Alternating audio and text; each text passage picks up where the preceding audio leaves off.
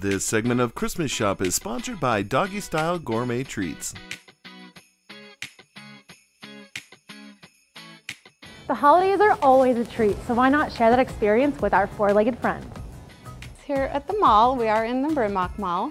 Um, we offer um, all of our natural treats. We definitely have holiday specials, and as you can see, Christmas is coming up. All of our holiday tins and baskets, they contain all of our eight flavors.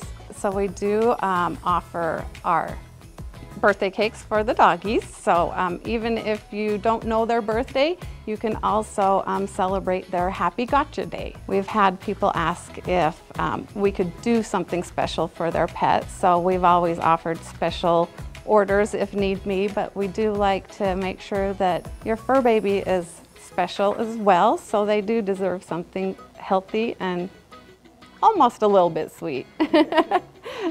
So we use uh, 100% all natural uh, ingredients, all fruit vegetable based. Uh, we have one meat based, which is bacon, bacon and cheese. I, I don't know who doesn't like bacon, but but all the rest of them you're going to find are going to be more fruit and vegetable based. We use 100% gluten free oat flour and oat, rolled oats, and that is uh, with the being grain free. That's what you want to stay away from is the gluten.